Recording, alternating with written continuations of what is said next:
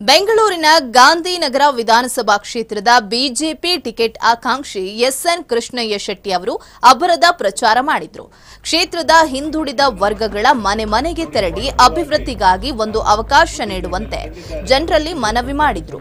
ಮಧ್ಯಮ ವರ್ಗದ ಜನರಿಗೆ ಉದ್ಯೋಗ, ಸರ್ಕಾರದ ಕಾರ್ಯಕ್ರಮಗಳನ್ನು ಜನರಿಗೆ ತಲುಪಿಸೋದು, ಹೆಚ್ಚು ಹೆಚ್ಚು ಸ್ತ್ರೀ ಶಕ್ತಿ ಕೇಂದ್ರಗಳ ಸ್ಥಾಪನೆ ಮಾಡುವ ಗುರಿ ಹೊಂದಲಾಗಿದೆ ಅಂತ ಕೃಷ್ಣಯ್ಯ ಶೆಟ್ಟಿ ಹೇಳಿದ್ರು.